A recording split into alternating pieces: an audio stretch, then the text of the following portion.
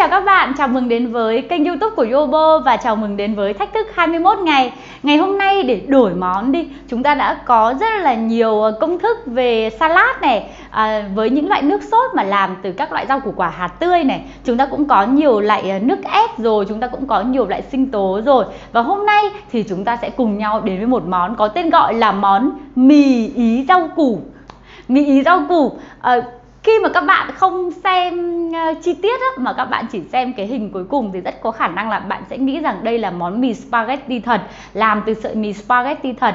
Nhưng mà tất cả những cái nguyên liệu của uh, Yobo thực hiện thì thực ra đều làm từ các loại rau củ quả. Và hôm nay chúng ta sẽ sử dụng cái loại gì để làm mì ý đây? À, chúng ta sẽ cùng nhau đến với cái phần nguyên liệu nhé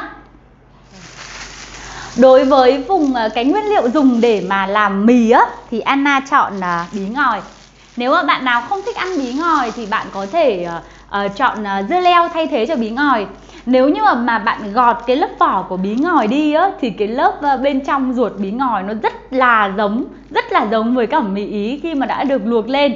Đặc biệt là nếu mà chúng ta làm những cái uh, sốt màu kem tức là cái sốt uh, màu trắng á, thì nó rất giống như là cái mì ý kem nấm của chúng ta. À, ở đây do là trong chương trình này chúng ta đang ra thực hiện cái thách thức 21 ngày um, bằng những cái món đồ tươi. Cho nên là Anna chưa có giới thiệu đến những cái món mà mình sử dụng uh, bằng nhiệt để chế biến. À, bây giờ chúng ta sẽ uh, cùng nhau đến với lớp mì làm từ bí ngòi nhé và để làm được cái mì này thì chúng ta sẽ lại cần một cái công cụ.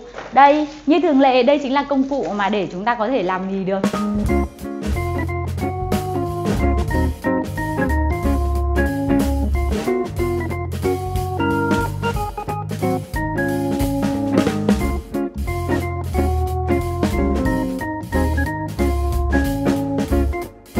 Và như vậy là chúng ta đã làm xong à, món mì của chúng ta. À xin lỗi, làm xong được cái ờ, phần à, sợi mì của chúng ta. Không cần phải luộc nhá, không cần phải luộc mà rất là mềm mại bạn thấy không? Trông nó như là những cái sợi mì. Và mì mà làm từ uh, bí ngòi là một loại mì cực kỳ dễ ăn. Bây giờ chúng ta sẽ chuyển sang đến phần làm nước sốt.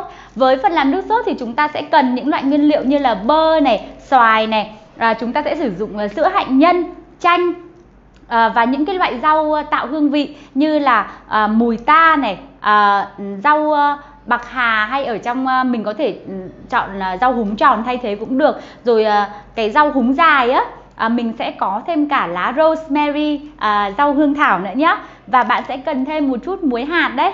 Bây giờ chúng ta sẽ à, sang phần làm nước sốt cho món mì ý bơ xoài nhé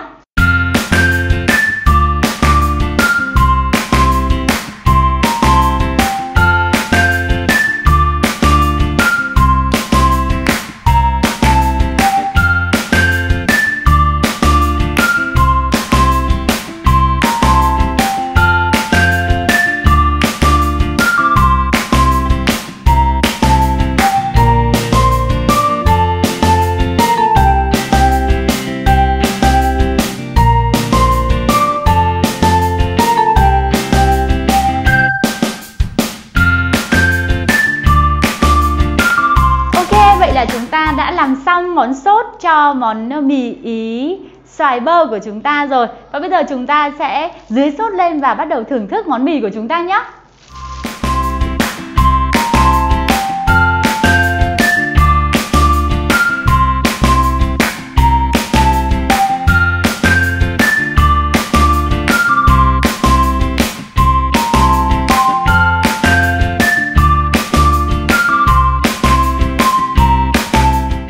Và như vậy là chúng ta đã hoàn thành xong món mì ý xoài bơ của chúng ta ngày hôm nay rồi nhé Và các bạn có thể làm và thưởng thức. Nếu các bạn thích công thức này xin hãy cho Anna một like, một share vào trong video. Hãy rung chuông để à, liên tục nhận được những video mới của chúng tôi.